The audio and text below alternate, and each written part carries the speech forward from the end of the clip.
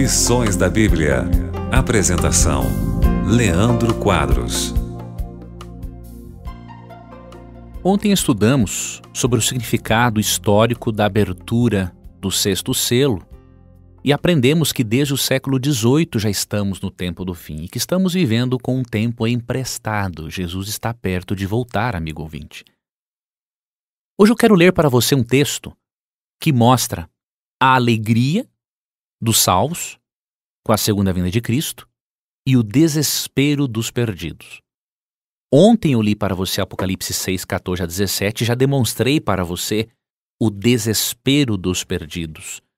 Mas eu queria mostrar mais um texto bíblico que é muito importante para reforçar em você e em mim a decisão de continuarmos sendo amigos de Cristo até o fim da nossa jornada.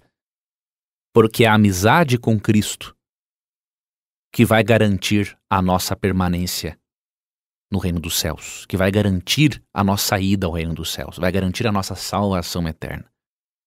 Vou ler para você 2 Tessalonicenses, capítulo 1, versos 7 a 10.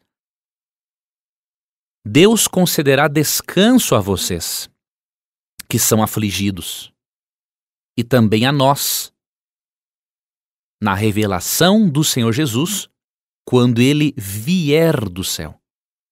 Virá com seus anjos poderosos em chamas de fogo, trazendo juízo sobre os que não conhecem a Deus e sobre os que se recusam a obedecer às boas novas de nosso Senhor Jesus. Eles serão punidos com destruição eterna, separados para sempre da presença do Senhor e de seu glorioso poder. No dia em que ele vier, receberá glória de seu povo santo e louvores de todos os que creem. E isso inclui vocês, pois creram naquilo que lhes dissemos a respeito dele. Aqui vemos dois destinos de forma muito nítida.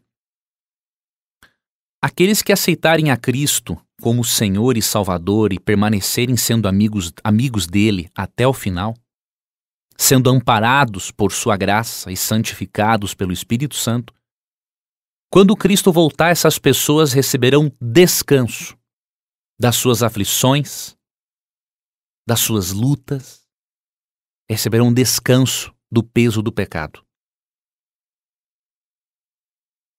E o versículo 10 também diz que eles o versículo 10 diz que eles vão glorificar a Cristo. Vão se alegrar ao vê-lo vindo. Vão dizer palavras elogiosas, de alegria indescritível. Porém, no verso 8 é dito que, ao contrário dos justos que receberão, receberão descanso, os ímpios receberão juízo. E por quê? Porque não conhecem a Deus e porque se recusaram a obedecer ao Evangelho, às boas novas de Cristo. O Evangelho orienta que nós aceitemos a Cristo como Salvador e expressemos esta fé em Jesus por meio do batismo.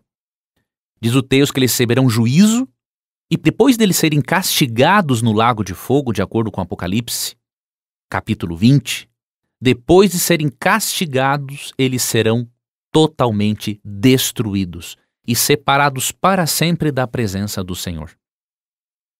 Dois destinos, amigo ouvinte, e vai caber a você e a mim decidirmos se na volta de Cristo vamos querer receber descanso de nossas lutas e alegria indescritível ou se queremos receber juízo e passarmos por um desespero indescritível por termos rejeitado tão grande salvação.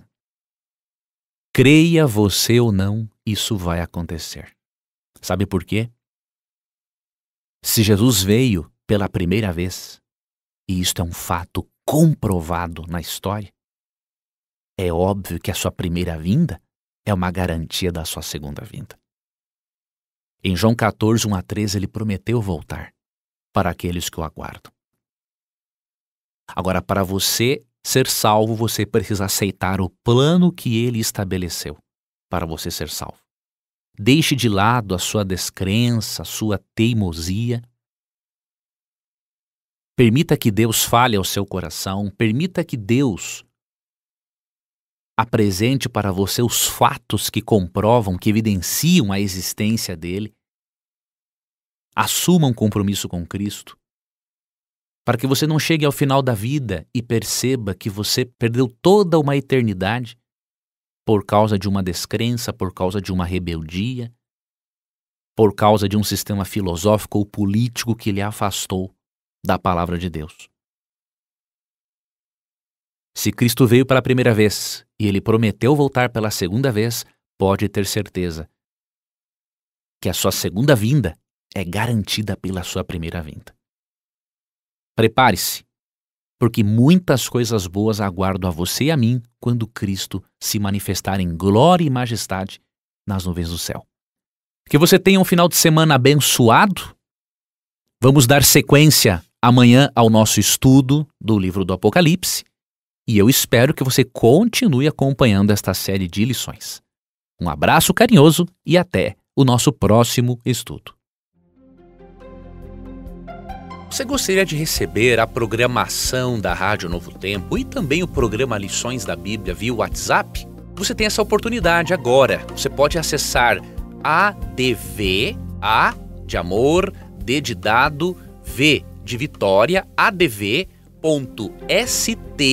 barra Rádio Novo Tempo. Ao acessar, você pode cadastrar-se e receber este programa, além de outros conteúdos exclusivos diariamente. Cadastre-se, é grátis, é prático e com certeza você estará também compartilhando esperança com outras pessoas. Fique com Deus e obrigado por acompanhar mais um programa Lições da Bíblia.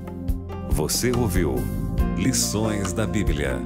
Apresentação: Leandro Quadros.